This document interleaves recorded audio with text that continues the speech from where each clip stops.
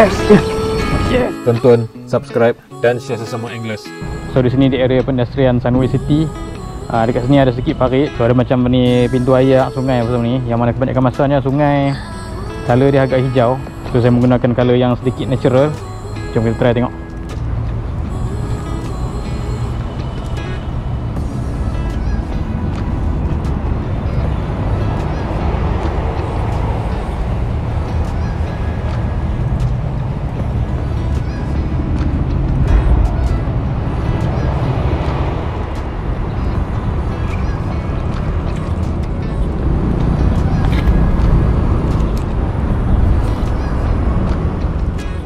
Ikan bulan ataupun tarpon. Sudah sekian lama menjadi idaman saya untuk memburu ikan ni. Maka di seberang jaya ini tuan-tuan, pot tarpon yang paling famous adalah di Sungai Sunway. Iaitu salah satu channel sungai Prai yang jajarannya jauh. Maka yang paling kasta-kasta angler-angler di sini banyak bertumpu untuk memburu tarpon adalah di pintu ayak berhampiran Taman Burung dan juga bakau-bakau sepanjang dok nelayan di muara situ. Maka setelah bekian berkali-kali saya tanya orang yang pengalaman di situ dan majoriti dia orang kata waktu paling best adalah waktu ayak berhenti, ayak nampak akan tenang dan di waktu ni lah akan nampak banyak boiling-boiling tarpon sama ada yang muncul mengambil udara atau meligan anak-anak ikan yang masa. Tapi dalam banyak-banyak spot saya lebih ambil keputusan untuk datang ke spot sini. Pertama, sebab sepemerhatian saya dah lama tak dikunjungi angler-anglers dan caster-casters. Kedua, sebab spot ni lebih kecil bermakna spot casting saya akan lebih fokus. Untuk setup ni, di setup saya pakai ni di 512. So kebanyakan masa saya guna umpan yang 2 gram. Umpan yang 2 gram. Uh, kalau main tu dia rasa tak berat sangat lah. Bukan tak berat saya dia agak ringan masa baling. Waktu main okey. Cuma yang saya pakai sekarang ni 3.5 gram. So 3.5 gram ni dah dia ngam-ngam antara baling baling baling pun sedap retrieve pun sedap.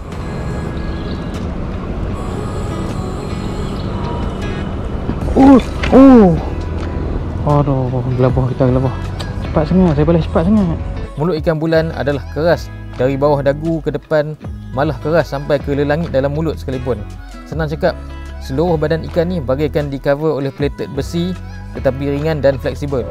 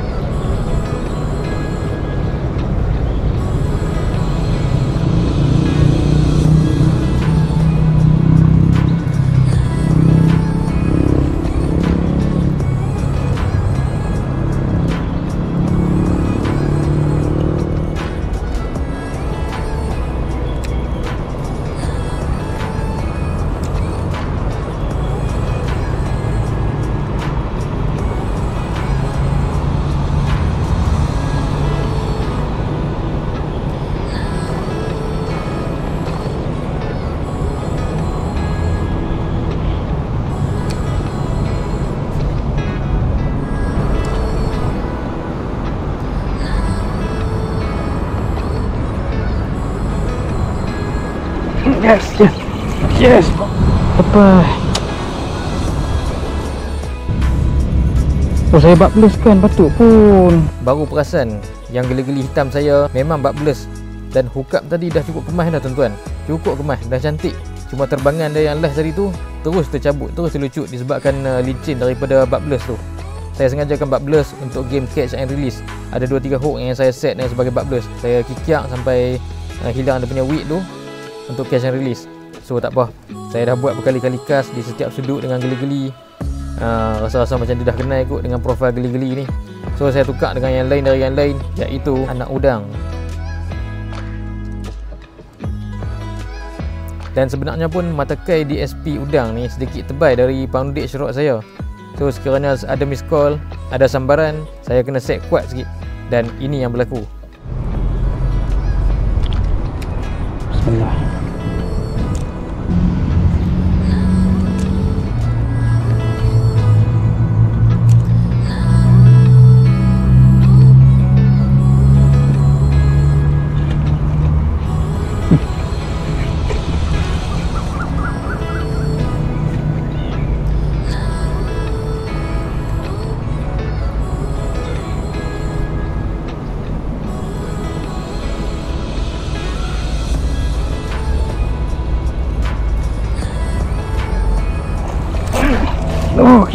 Jangan jangan jatuh jangan jatuh.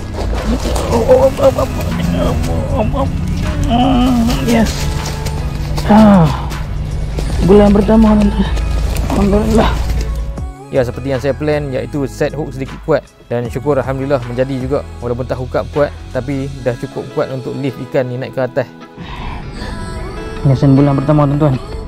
Uh, Hari ni 18 hari bulan Mei 2021 Tangkapan pertama saya uh, Tarpon Waktu lebih kurang dalam 6.45 Maka dengan ini saya umumkan inilah bulan atau tarpuan pertama dalam hidup saya Lesen ini akan saya jadikan penentu ukur untuk memburu bulan atau tarpuan di masa-masa akan datang.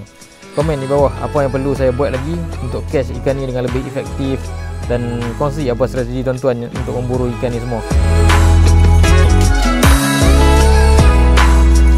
Oh, satu lagi yang membimbangkan saya adalah pot ni bersebelahan dengan loji kumbahan indah water di Seberang Jaya ni. So, adakah air yang masuk ke sini aliran daripada sana? subscribe dan share sesama English dan jangan lupa tengok video-video lain